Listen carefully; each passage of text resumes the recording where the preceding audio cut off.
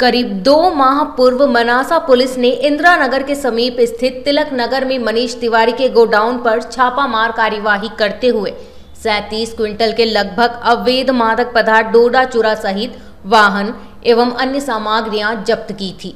साथ ही मनीष तिवारी के विरुद्ध एनडीपीएस एक्ट में प्रकरण पंजीबद्ध किए थे। तभी से मनीष तिवारी फरार चल रहा है।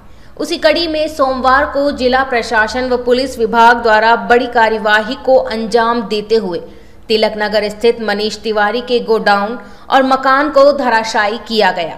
आपको बता दें कि विगत दिनों जिला कलेक्टर कार्यालय में सीएम ने वीसी के माध्यम से पुलिस अधीक्षक सूरज कुमार वर्मा को गुंडा तत्वों एवं तस्करों पर कार्यवाही के निर्देश दिए थे। इसके बाद से ही यह बड़ी कार्यवाही हुई है। और 30 सितंबर को नीमच ज़िले में मुख्यमंत्री शिवराज सिंह चौहान का प्रस्तावित दौरा भी है। सोमवार को जिला प्रशासन, पुलिस प्रशासन ने नगर पालिका की सहायता से सैंतीस क्विंटल डोडा चुरा के मामले में बड़ी कार्यवाही की है। प्रशासनिक अधिकारी करीब 70 से 80 दिन बाद एक्शन मोड में आए हैं और जेसीबी सहित पुलिस बल को लेकर तस्कर मनीष तिवारी के घर पहुँचे, जहाँ जेसीबी की मदद से तस्कर तिवारी के मकान को ढहाने की कार्यवाही की गई। उल्लेखनीय है कि शहर के तिलक नगर में किराए का मकान लेकर धनिये के आड़ में मंडी व्यापारी मनीष तिवारी द्वारा डोडा चोरा की तस्करी की जा रही थी, जहाँ मुखबिर की सूचना पर मनासा पुलिस ने पहुंचकर दबिश दी थी। 10 जुलाई को की गई इस कार्यवाही में सैंतीस क्विंटल डोडा चूरा, चार पिकअप, एक मिनी ट्रक, बाइक सहित अन्य उपकरण बरामद हुए थे। पुलिस ने यहाँ से चौकीदार गोपाल रेवारी को भी गिरफ़्तार किया था। जबकि तस्कर मनीष तिवारी व उसका एक साथी हरिओम पंडित फरार हो गए थे। इसके बाद से ही पुलिस ने तस्कर तिवारी के नीमच मनासा में स्थित मकानों पर सर्चिंग की थी। उस दौरान करीब तीन करोड़ से अधिक की चल अचल संपत्ति सामने आई थी।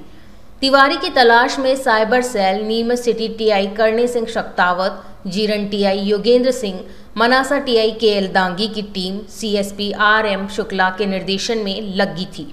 मनासा टीम ने तस्कर तिवारी के मंदसौर में मेघदूत नगर स्थित एक मकान पर भी दबिश दी। लेकिन यहाँ से भी पुलिस को निराश होकर लौटना पड़ा था, जबकि उक्त मामले में तिवारी से डोडा चूरा ले जाने वाला तस्कर गिरफ़्तार हो चुका है। सैंतीस क्विंटल डोडा चूरा तस्करी मामले में पुलिस की एसआईटी की एक टीम को टीआई योगेंद्र सिंह सिसोदिया के नेतृत्व में सफलता मिली थी।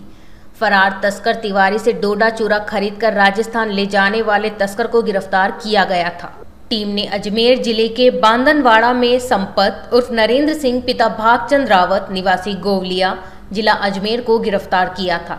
यह आरोपी तस्कर तिवारी से प्रत्येक माह तीन चार बार चार से पाँच क्विंटल डोडा चूरा खरीद कर राजस्थान ले जाता था। सोमवार को हुई इस कार्यवाही में नायब तहसीलदार प्रशिस्ती सिंह, सिटी थाना प्रभारी करणी सिंह, नगर पालिका के ओपी परमार मौके पर मौजूद रहे।